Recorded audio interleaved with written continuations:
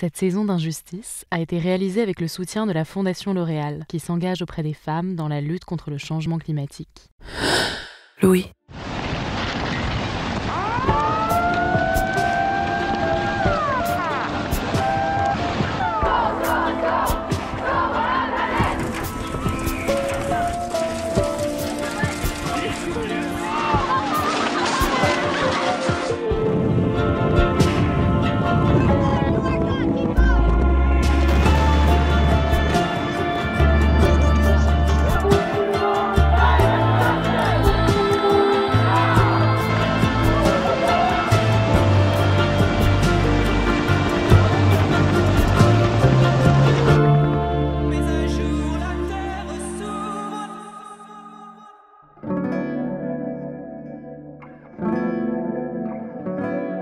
3 août 2003. On entame le mois le plus calme de l'année, dédié pour un grand nombre d'entre nous au repos et à la détente. Météo France prévoit une vague de chaleur dans les jours à venir. Dès le lendemain, des températures supérieures à 40 degrés sont relevées dans 15% des stations météo de l'Hexagone. 40 degrés, chaud, trop chaud, même pour les Bordelais. Nous sommes en plein cœur de la ville.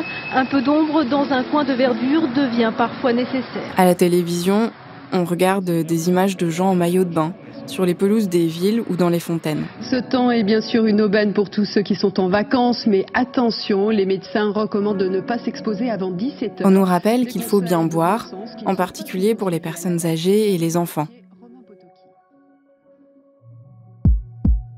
Dinard, 39 degrés 5. À Dinard, en Bretagne, un nouveau record de température est battu le lundi 5 août. Quand? Quand? 38 degrés 9. C'est du jamais vu. Très très calme. Comme les records, les micro-trottoirs se multiplient. Mais vraiment très Auprès des commerçants. Combien de degrés? Là, on a 41 à l'ombre. Carcassonne, 41 degrés. 41 degrés. Et 50 en plein soleil. Là. Des vacanciers Moi, j'ai pas peur de le dire, hein. des fois je couche tout nu. ah oui, moi, il fait tellement chaud. et des touristes étrangers. Ça, il fait vraiment chaud ici en France, bon. vraiment chaud. Vous n'êtes pas habitué à ce genre de température Mardi 6 août, Trappe, à Trappes en Ile-de-France, 39 degrés 1. c'est une première. Les températures ne descendent plus assez la nuit pour rafraîchir les logements. Nîmes, 41 degrés 6. Les ventilateurs, les plans d'eau, les linges mouillés d'eau fraîche et les messages de prévention ne suffisent plus. L'inquiétude 40,5. monte. Nevers, 40 degrés 5. Les urgences des hôpitaux sont débordées. Dijon, 39 degrés. On y prend en charge de très nombreuses personnes âgées, victimes de coups de chaud ou de déshydratation. Albi, 40 degrés 9. Albi, 40 degrés 9. Et on continue à battre des records de température. Paris, 39,5 degrés. Les couloirs des urgences de l'hôpital Saint-Antoine sont déjà submergés de brancards et il n'est que 9 heures ce matin. Principalement des personnes... Le 10 août, sept jours après le début de la canicule, des médecins urgentistes tirent publiquement la sonnette d'alarme. de la santé minimise et évoque, elle, des morts naturelles, ce qui provoque la fureur de ce médecin débordé. Oui, tout malade finalement c'est une cause naturelle. Et à quoi on sert? Ça veut dire que finalement on va laisser ce phénomène euh, perdurer et on va pas s'occuper des malades. Mais qu'est-ce qu'ils foutent de la Direction Générale de la Santé? Ils se moquent de qui? Le problème il est bien réel, c'est que nous avons des malades qui sont en train de mourir qui n'auraient pas dû mourir.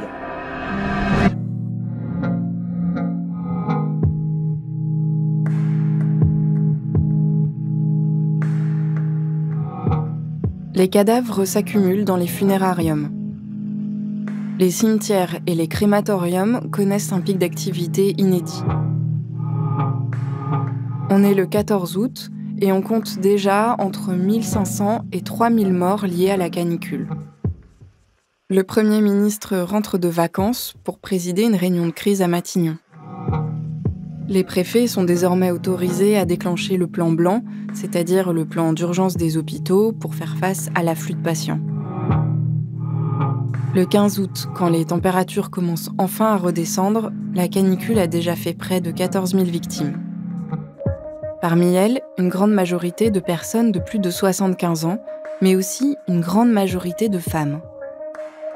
64,7% des victimes, soit 8 886 décès.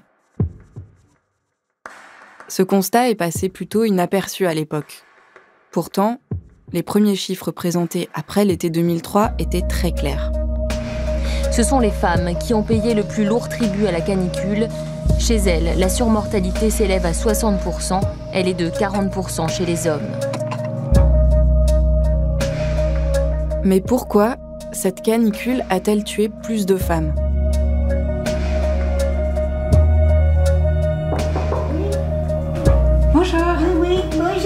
C'est Lucille. Merci. J'étais pas sûre, j'avais laissé la porte parce que j'ai un souci avec la porte. Je, je suis obligée, comme j'ai. Vous savez, installez-vous.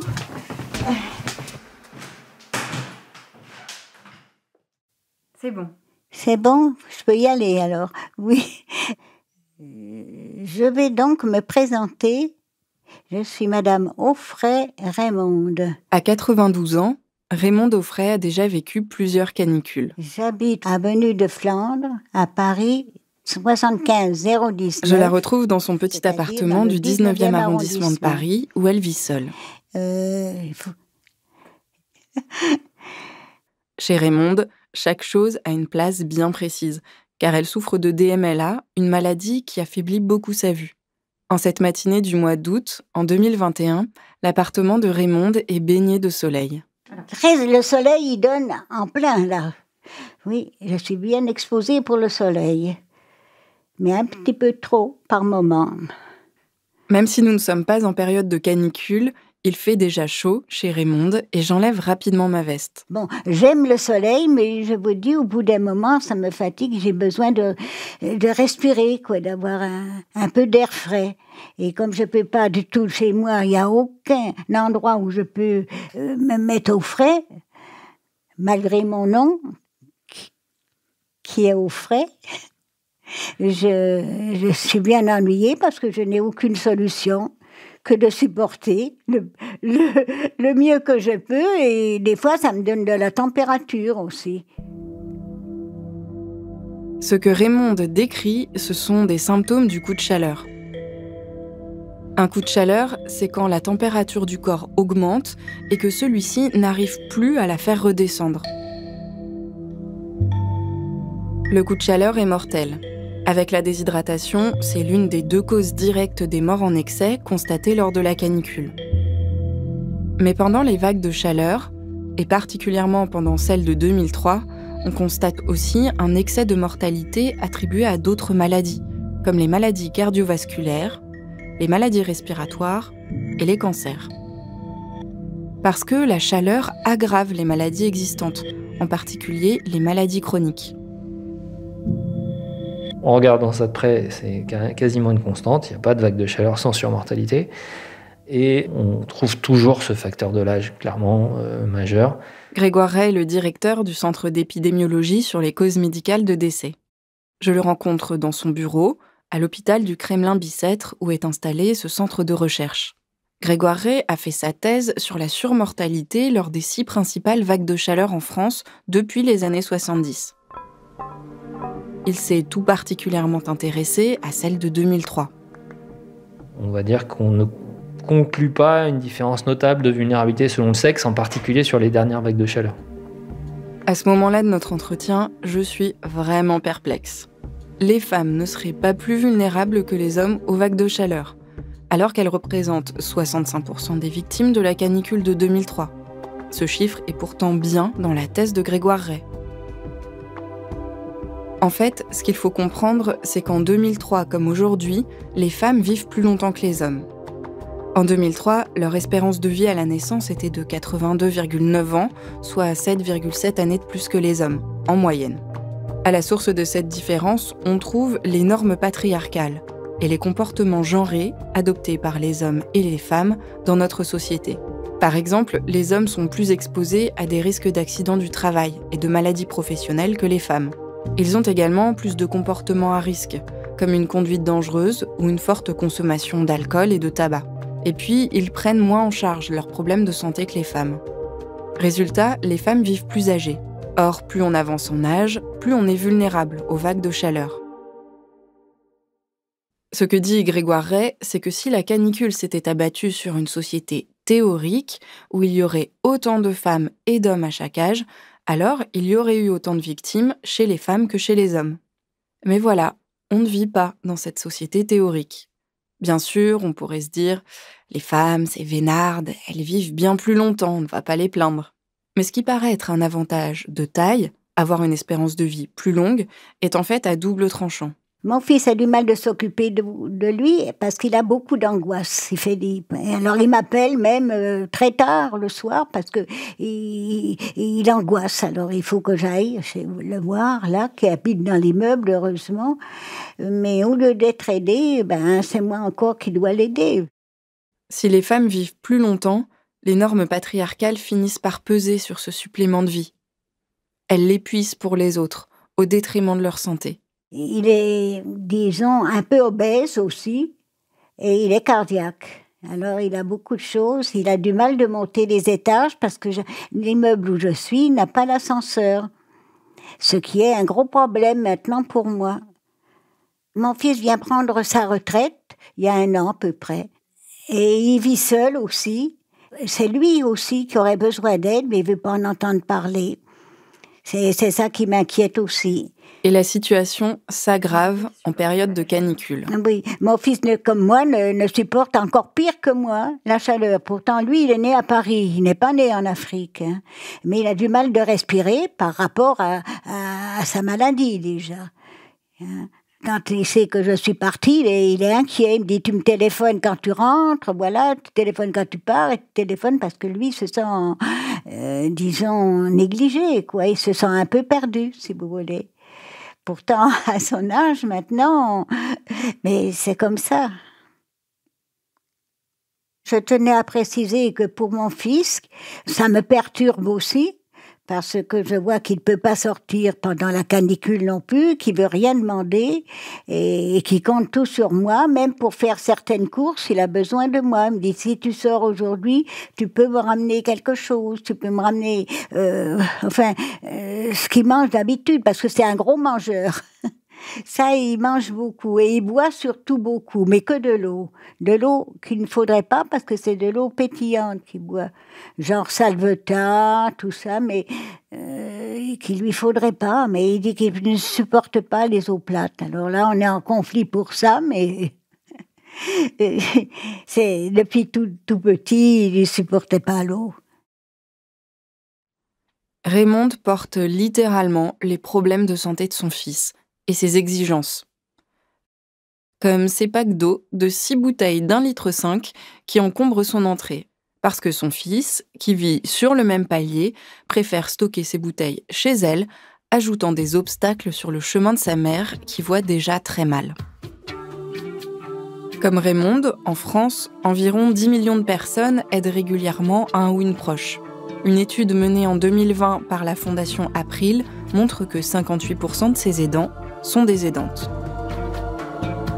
Quand on s'intéresse plus spécifiquement aux tâches ménagères, on se rend compte que la proportion de femmes augmente encore. 72% des personnes aidantes qui prennent en charge les tâches ménagères au quotidien sont des femmes. Mais cette assignation au rôle d'aidante met en danger de nombreuses femmes. Bonjour, Jonathan Alcaliobi, responsable du Carrefour des Solidarités à service de la Fondation Maison des Champs, qui est une structure euh, d'aide et d'accompagnement, ainsi que de soins à domicile. Ça fait deux ans que Jonathan El Kaliobi est le responsable du Carrefour des Solidarités, un lieu d'accueil et d'accompagnement à destination des personnes âgées ou fragilisées du quartier. Il arrive à Raymond de participer à certaines des activités proposées par cette structure et de bénéficier de visites de la part de l'équipe. Euh, il y a beaucoup de femmes qui sont dans cette situation, qui ont un conjoint qui a une pathologie de type neurodégénérative. Et ce conjoint-là, euh, forcément, va nécessiter ou mobiliser beaucoup d'énergie à, la femme. Donc ce manque d'énergie va engendrer aussi d'autres dangers. D'ailleurs, on dit souvent que l'aidant part avant l'aider, et, c'est malheureusement quelque chose qui arrive assez fréquemment. Donc pour éviter ça, ben nous on apporte du soutien euh, au maximum. Donc ça peut être aussi une action de prévention parce que la personne aidante va avoir tendance à s'oublier elle-même. C'est pour ça qu'au carrefour des solidarités, les aidants et les aidantes sont considérés comme des personnes vulnérables. Pendant les canicules, elles sont inscrites sur les listes de personnes à appeler par les bénévoles de l'association. Ce constat de terrain est confirmé par les études. En 2020, une étude menée par la Massif a montré que 53% des aidants déclarent que ce rôle a des impacts négatifs sur leur santé. Une autre étude, menée en 2015 par l'Association française des aidants, montre qu'un aidant sur deux déclare avoir des problèmes de santé qu'il n'avait pas avant d'endosser cette charge.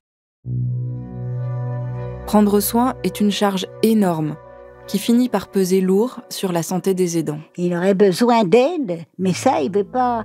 Euh, je pense que c'est par fierté, je ne sais pas, il ne veut pas en entendre parler. Cette fierté qui pousse le fils de Raymond à ne pas demander d'aide extérieure, mais à solliciter sa mère de 92 ans au risque de l'épuiser, on ne la trouve pas dans l'analyse de la surmortalité des femmes pendant les vagues de chaleur. Pourtant, c'est un facteur qui pèse sur ces femmes qui certes vivent plus longtemps, certes sont en meilleure santé, mais doivent s'occuper de leurs proches. Et puis, à mesure que leurs proches vieillissent et disparaissent avant elles, il ne reste plus personne pour s'occuper de ces femmes et les aider lorsqu'elles rencontrent à leur tour des difficultés. Ben, aujourd'hui, je vis seule parce que déjà, vu mon âge, j'ai perdu la plupart de ma famille et donc je me suis occupée ma mère, ma tante, mon oncle, ma sœur, mon beau-frère, et je les ai malheureusement tous perdus et occupés de, leur enterrement. Maintenant, je vis seule et je ne me sens plus capable de faire beaucoup de choses.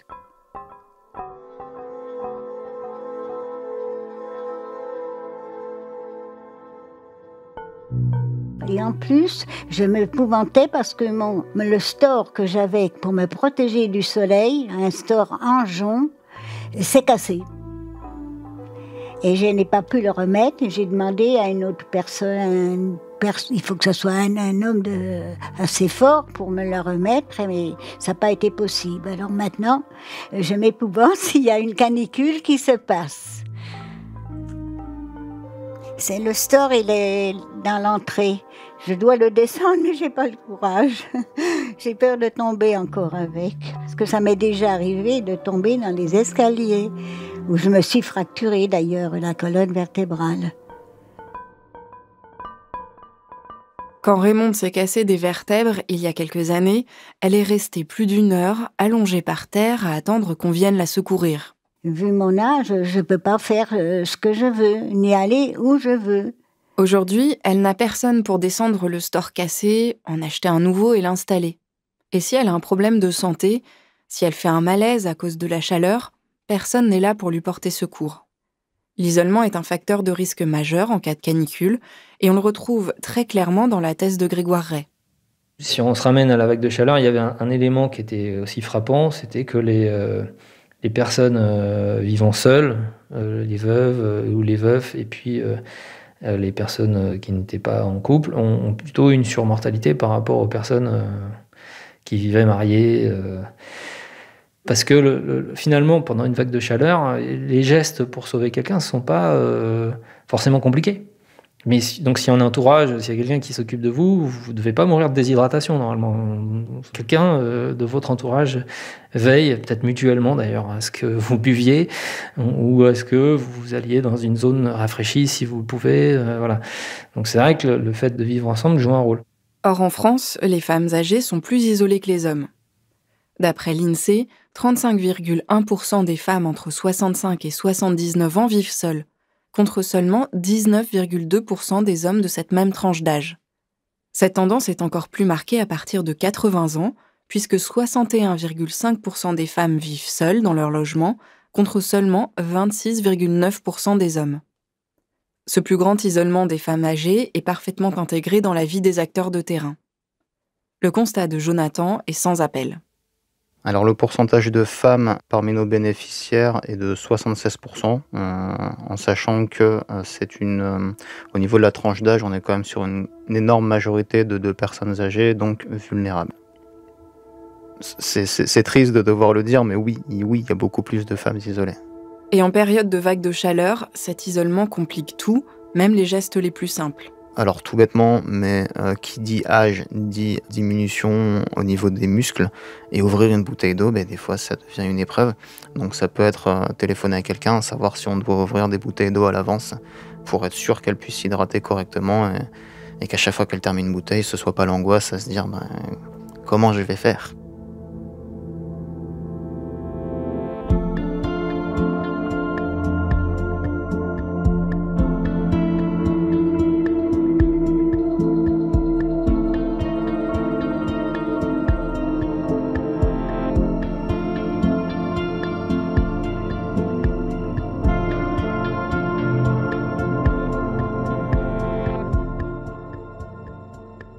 Dans les plans canicules, l'isolement est indiqué comme un facteur de risque majeur. Mais on n'y prend pas en compte le fait que les femmes sont plus isolées que les hommes. Et puis, il y a une dernière piste d'explication au plus grand nombre de décès des femmes lors de la canicule de 2003. Dans sa thèse, Grégoire Ray démontre la vulnérabilité plus importante des populations socio-économiquement défavorisées dans la région parisienne. En gros, il y a ce qu'on appelle euh, en statistique une interaction entre le niveau de chaleur et euh, le niveau socio-économique. C'est-à-dire que plus la chaleur était élevée, plus les écarts de vulnérabilité entre les riches et les pauvres ont été marqués. Quand je me penche sur les zones qui ont été les plus affectées par la chaleur, et en particulier en Ile-de-France, je vais avoir des écarts importants, une surmortalité beaucoup plus élevée dans les zones les plus défavorisées par rapport aux zones les plus favorisées. Donc ça, c'est le résultat majeur qu'on a mis en évidence au cours de ce travail. Est-ce que vous avez pris en compte le genre dans cette deuxième partie? Alors non, je dois dire que non, on n'a pas travaillé spécifiquement. Il faut bien dire qu'on sortait quand même du travail précédent en disant qu'il n'y avait pas de différence par genre de, vulnérabilité. Enfin, rien de notable en tout cas sur 2003. Donc partant de là, euh, c'était pas pour nous un, facteur euh, important à prendre en compte dans l'analyse. C'est un ou en tout cas, euh, ça aurait peut-être dû être fait parce que, comme sur à peu près n'importe quel phénomène qui affecte euh, la mortalité ou la démographie, euh, le genre est un élément essentiel à prendre en compte.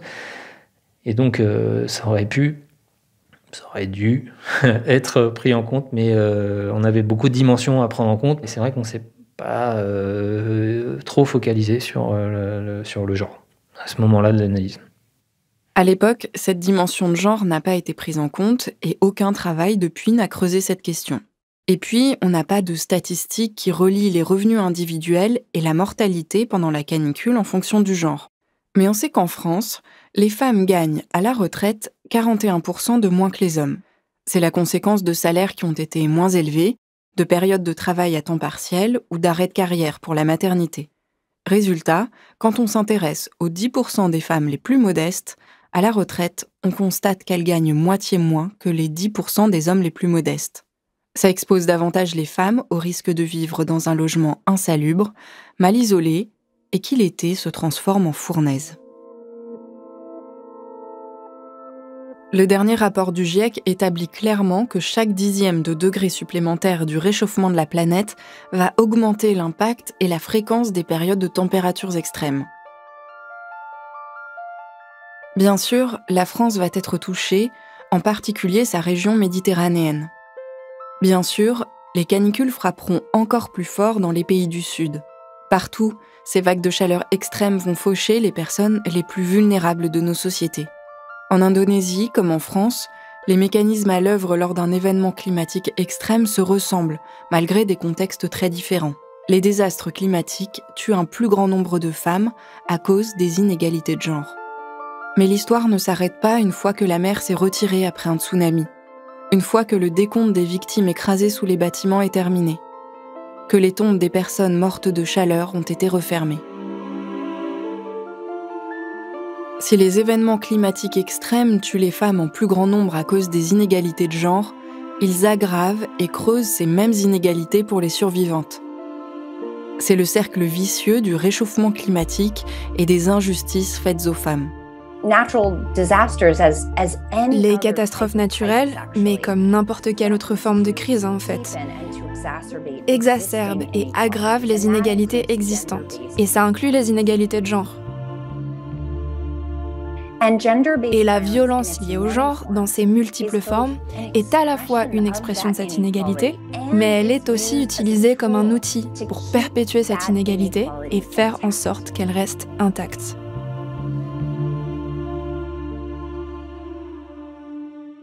Dans le prochain épisode d'Un jour, la Terre s'ouvre, je vous raconterai comment les catastrophes dites naturelles ne sont en fait que le point de départ de violences ininterrompues envers les femmes.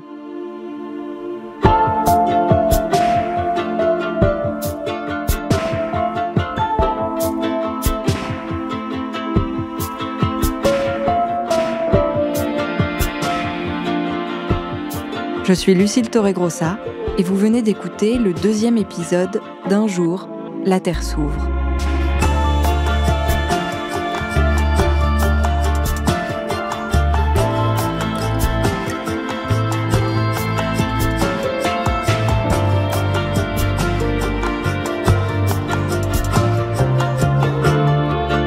Un jour, La Terre s'ouvre est une production Louis Média. Vous pouvez vous abonner sur toutes les plateformes de podcast, nous laisser des commentaires et des étoiles et en parler autour de vous. Et si vous souhaitez soutenir Louis, n'hésitez pas à vous abonner au club louismedia.com/club. À très vite.